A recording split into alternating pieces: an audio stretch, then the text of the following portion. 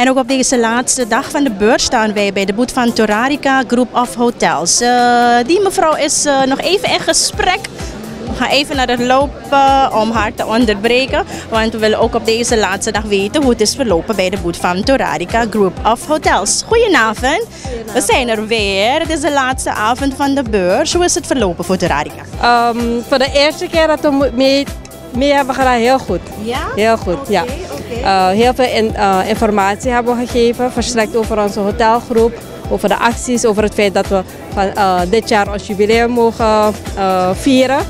En eh, ja goed, mensen waren geïnteresseerd, zeker in onze lekkere uh, lekkernijen er die we één van ze. Aan het begin, bij mijn aankondiging, heb ik het reeds aangegeven. Ik zeg, nou ja, ik word extra zoet gehouden door Torarica. zoet gehouden. We hebben heerlijke cocktails gehad de afgelopen drie dagen. We hebben cakepop vandaag. We hebben onze koekjes, allemaal gemaakt door Tangelo.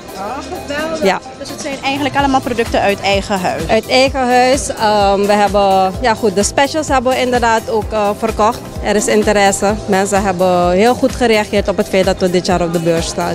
Dus we zijn Jullie volgend jaar weer op de beurs. Het ziet er naar uit van wel. Ja. Oké, en hoe is de samenwerking geweest overal met het team zelf en ook de overige exportanten? Heeft uh, ook de gelegenheid gekregen om te netwerken? Uh, nog niet, maar we zijn van plan dat inderdaad wel te doen. De eerste dag hebben we wel rondgelopen. Gisteren was het iets drukker, heb ik uh, begrepen. Vanavond gaan we een beetje in chefverband inderdaad even uh, bezichtigen wat er verder op de beurs is. En wat je eerste vraag betreft, hoe de samenwerking was van de collega's. Super enthousiast om mee te doen. We doen al vaak genoeg mee aan beurzen in het buitenland. Dit is inderdaad een beurs die we gekozen hebben om mee te doen. En het was leuk, iedereen was enthousiast en we hebben heel veel gesproken. Ja.